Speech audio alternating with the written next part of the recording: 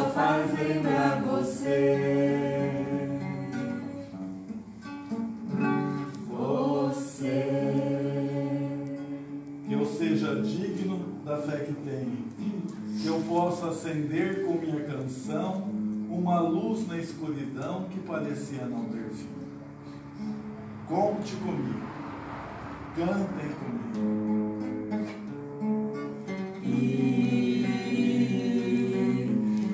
distância do luar.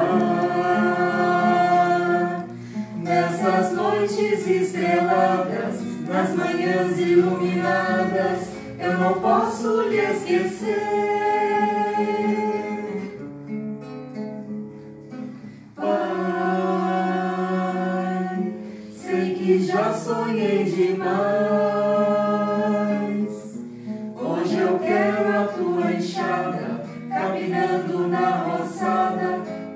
sentimos que cai.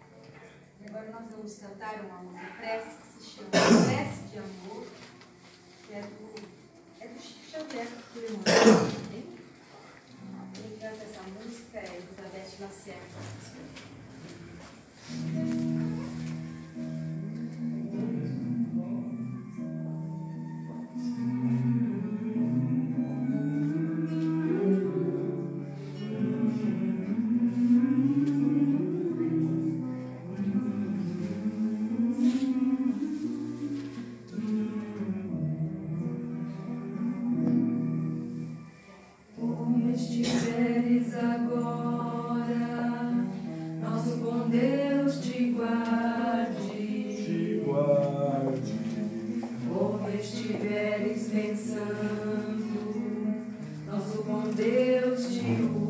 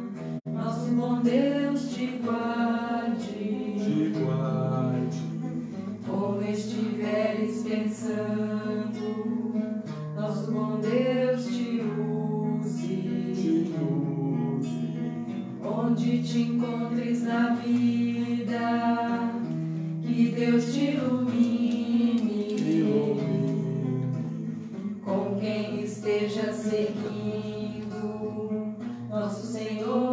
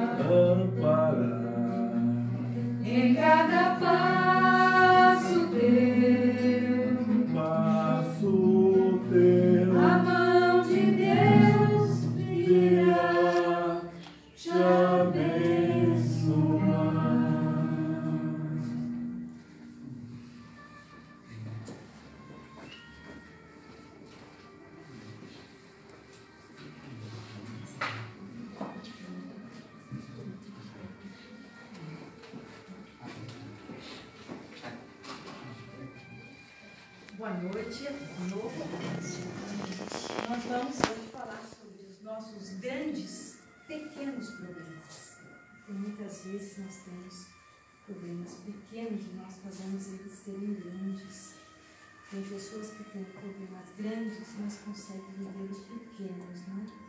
Então eu vou começar com uma historinha.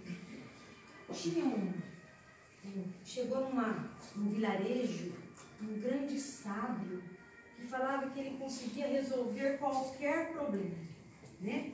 Então, começou a formar fila de pessoas e esse homem aqui chegou lá e falou assim, olha, eu estou com um problema muito grande. Eu moro numa casa muito pequena, eu, minha mulher, e tenho dois filhos, uma filha e um filho, e minha sogra veio morar com a gente.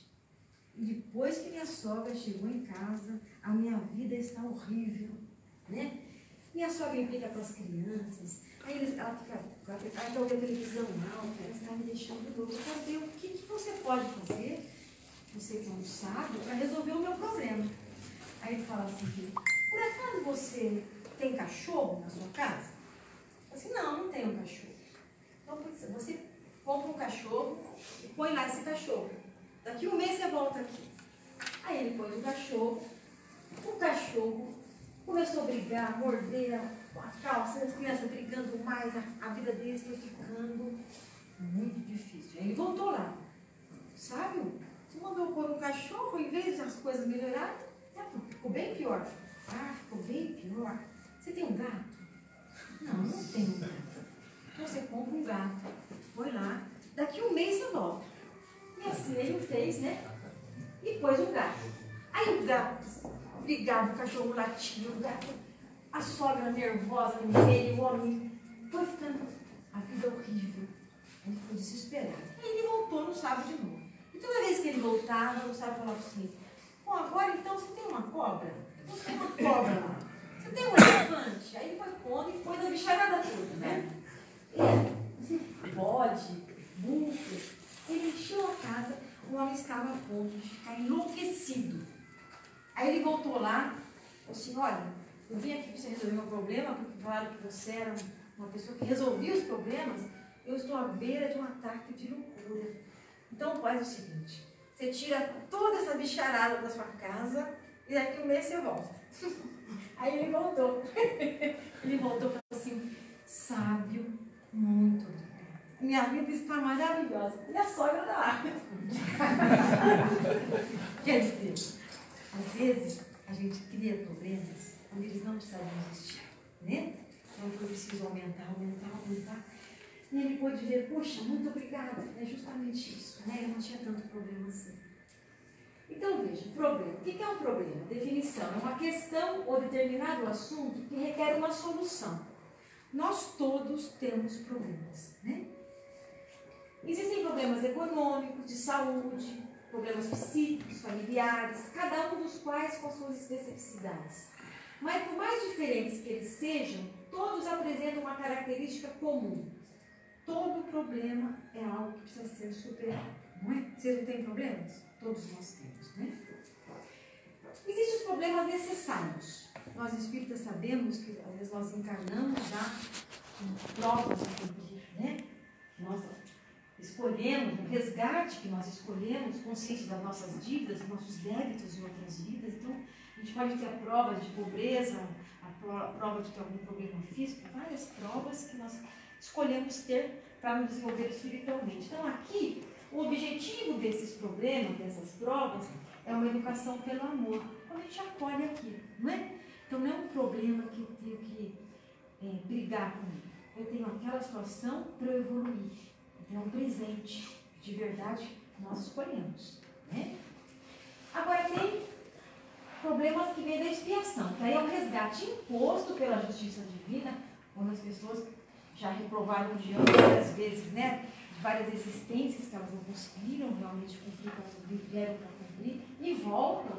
E aí, de uma forma mais difícil, é uma reeducação pela dor. Esse é um problema maior que a pessoa também precisa passar por ele.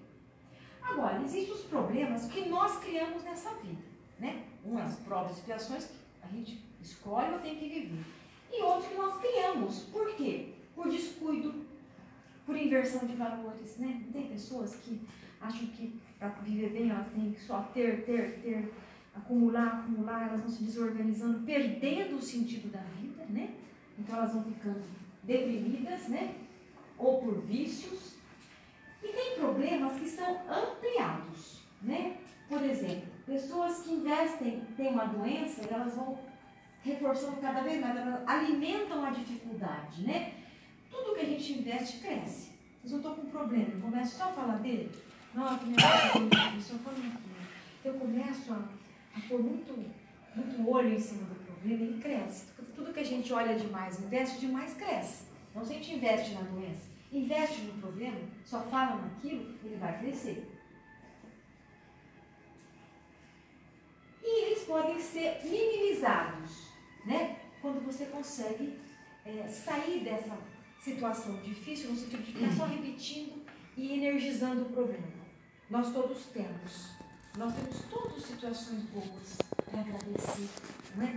inclusive os nossos problemas que a gente tem para poder nos desenvolver. Então, a gente tem que poder diminuir ele.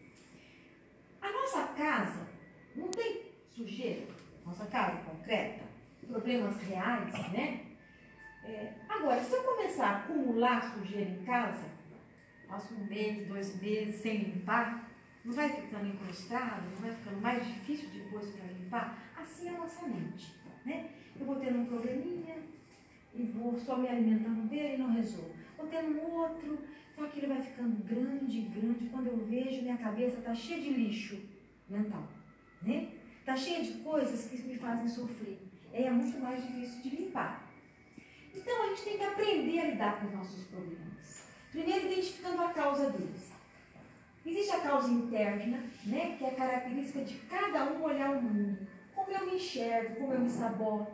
Tem pessoas que se, se vitimizam, né? Traz um sentimento de culpa, às vezes, de outras vidas, e que acabam sempre presos, não vão conseguir. Então a pessoa fica com pensamentos muito negativos, mau humor. Então isso aqui é o interno.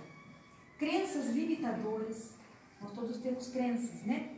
Você fala assim, ah, eu sou muito burra. Pronto, fechei. Né? Ah, minha vida nunca vai ser boa. Pronto. Então, a gente mesmo cria e amplia. A tem que pensar, o que está na minha cabeça? Tem coisas melhores ou eu estou guardando muito lixo? Eu estou reforçando problemas que poderiam estar sendo minimizados ao invés de estar sendo exacerbados. E tem os problemas externos também, que geram problemas. Por exemplo, quando uma pessoa perde o emprego, né? Ele passa por um problema, tem que se readaptar àquela, àquela situação nova. Quando entra num luto, perde uma pessoa querida, é, problemas de relacionamento, né? Brigas, separação, situações que abalam um pouco e que a pessoa também tem que aprender a lidar, né? Todos os problemas, eles podem ser é, trabalhados ou resolvidos, nem que não seja no sentido real, nós vamos ver na frente, na, na última parte, mas internamente de você aceitar aquilo e, e conseguir seguir em frente, né? Então, a primeira coisa que a gente tem que fazer é aceitar a própria história. A gente fala assim, ah, mas você, sua vida é tão boa, né? Eu estou passando fome, meu marido perdeu emprego. Como é que você está passando por aquilo? Você não tem a sua história? A gente tem que parar de olhar a história do vizinho, porque pode ser melhor ou pior que a nossa, sempre. Vamos cuidar da nossa. De verdade, a gente não, não ajuda o outro a cuidar, a gente tem que se ajudar, tem que mudar a nossa vida, aí você até favorece o outro, né? Então, para isso, a gente tem que se instrumentalizar. O nosso lado infantil está sempre criando problema. O nosso lado adulto resolve, né? A solução muito pequena, a solução ela busca nos pais, não é assim? Quando ela é muito pequenininha. À medida que ela vai crescendo, a gente vai estimulando, que eu vou mostrar aqui. Então, você vai ampliando os recursos pessoais, quando a pessoa é criança, e o que parecia grande vai ficando pequeno. Assim, ó. Vamos supor que uma criança pequenininha tem um imagina que isso aqui é a mente da criança, a cabecinha, que é então como ela lida. Olha o tamanho desse problema. A criança não tem recursos para lidar sozinha. O que, que faz a família? A família tem os pais que acolhem, recebem, dá uma, uma quebradinha, né? E devolve para a criança de uma maneira que ela possa começar a lidar. Não deixa tudo pronto. Né? Você facilita.